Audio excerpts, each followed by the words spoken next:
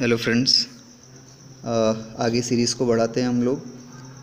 Question 61 select the correct statement in proximal convoluted tubule the glomerular filtrate is hypotonic कह रहा है कि PCT जो कि नेफ्रॉन में पाया जाता है ग्लोमेरुलर फिल्ट्रेट हाइपोटोनिक होता है. अच्छा. In ascending limb of the loop of Henle filtrate become isotonic.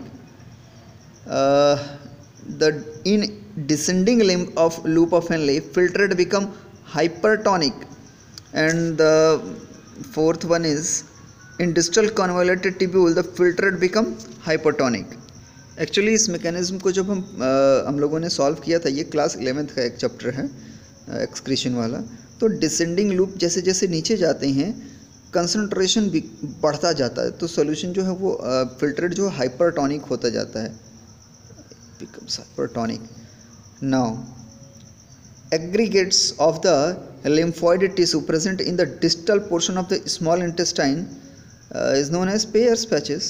Yes it is तो पेयर पैचेस है तो बहुत ईजी हो गया। During polarization the outer surface of membrane becomes okay ये न्यूरॉन्स वाला केस है डीपोलराइजेशन और पोलराइजेशन वाला। तो जब पोलराइजेशन होता है तो आउटर मेम्ब्रेन कैसा हो जाता है? अगर मेरा वीडियो आप लोगों ने देखा होगा तो आपको आंसर बिल्कुल पता चल गया होगा कि पॉजिटिवली चार्ज हो जाता है, ठीक है? और अंदर नेगेटिव चार्जेस हो जाते हैं।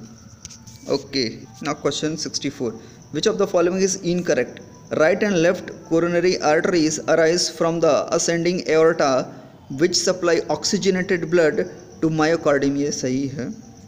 तो ये ऑप्शन गलत नहीं हो सकता। Blood flow in pulmonary circulation is for short distance हाँ बिल्कुल। Arteries have valves which prevent backward flow of blood और चौथा है tunica media is thin with fewer muscle in the veins actually आपको पता चल गया होगा कि ये आर्टरीज जो हैं, इनमें कोई वॉल्व नहीं होती है।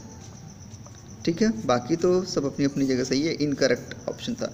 इन जक्स्टा मेडुलरी नेफ्रॉन एक्सक्रेशन की बात हो रही है एक्सक्रेटरी सिस्टम वाले क्वेश्चन हैं ये।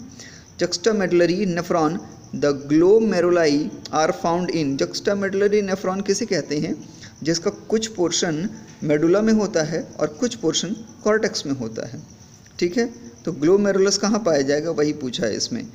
Outer margin of the renal cortex inner margin of the renal cortex renal medulla renal columns of the Bertin तो इसको अगर आप लोगों ने स्ट्रक्चर देखा होगा तो ये inner margin of the renal cortex actually cortex में पाया जाता है बट आउटर मार्जिन पे नहीं इनर मार्जिन पे। इसीलिए कंफ्यूज करने के लिए दो ऑप्शन दिए गए हैं कॉर्टेक्स के।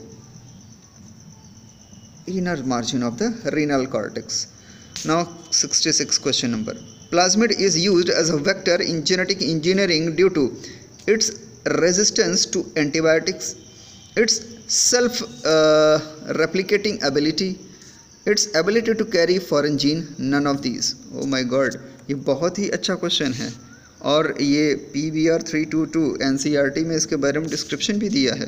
तो हमें पता है कि किसी भी प्लाज्मिड में अगर फॉरेन जिन ले जाने की कैपेसिटी नहीं है तो हमारे लिए बेकार है। So option is C C is the best answer now sixty seventh question are substance produce by some microorganisms which cannot be commercially extracted can kill or retard the growth of other microbes are effective against all pathogens kill the bacteria by disruption of the cell wall only antibiotics क्या होते हैं?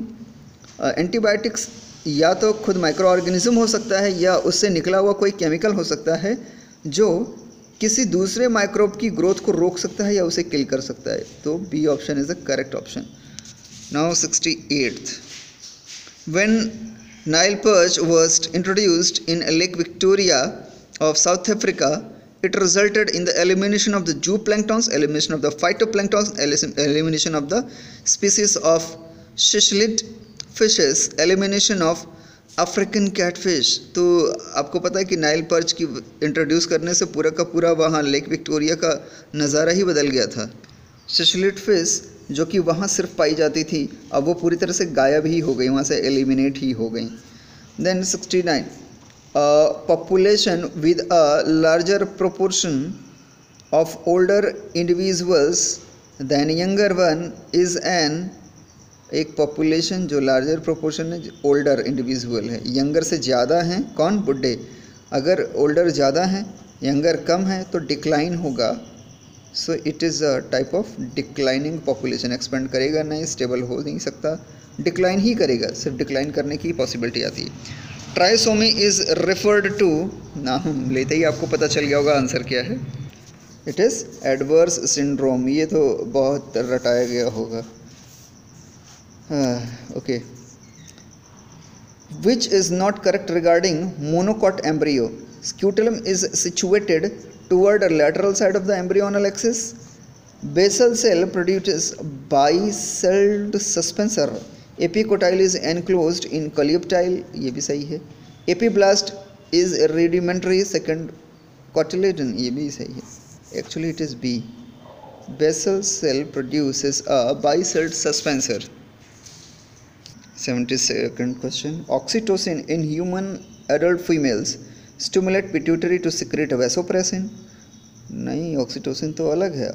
Cause strong uterine contraction during parturition is secreted by anterior pituitary stimulates growth